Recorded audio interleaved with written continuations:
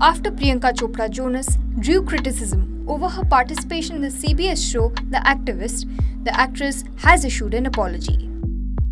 She said she is sorry for the participation which has disappointed many and she is also moved by the criticism.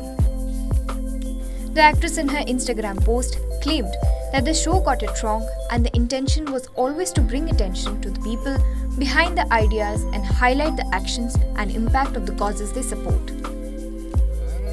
On the other hand, the network CBS has announced a change in format for the show. Now it would be changed from a competition show to a one time documentary. Earlier, the activist was announced adding six inspiring activists who will team up with three public personalities such as Usher, Priyanka, and Julianne Hough. The format for the series had six activists representing three causes such as health, education, and environment.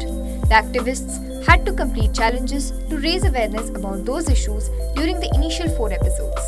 For the fifth and final episode, three of the six activists would have been chosen to go to the G20 summit in Rome and meet with world leaders personally to press their causes. Bureau Report, OTV News.